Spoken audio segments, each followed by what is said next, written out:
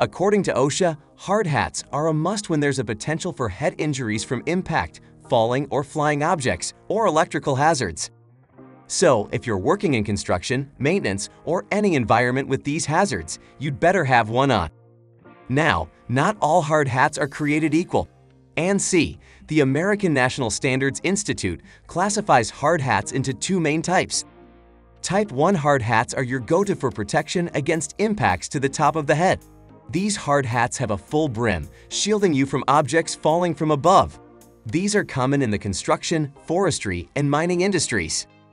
But what if you need more comprehensive protection? That's where Type 2 hard hats come in. These hard hats guard against impacts to both the top and sides of your head. If you're working in tight spaces or around heavy machinery, a Type 2 might be your best bet. They're popular in industries like oil and gas, where lateral impacts are a real concern. ANSI also divides hard hats into three classes based on their electrical protection.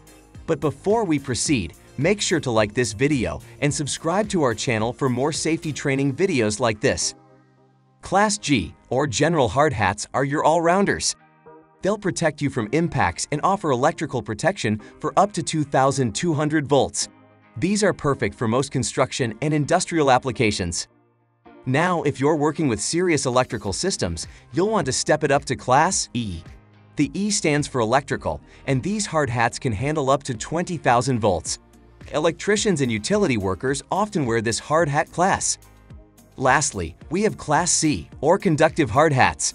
These don't provide any electrical protection, but they're lightweight and often ventilated.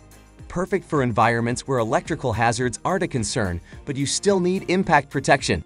These are often worn by painters and construction workers. So how do you pick the right hard hat? First, consider the hazards in your workplace.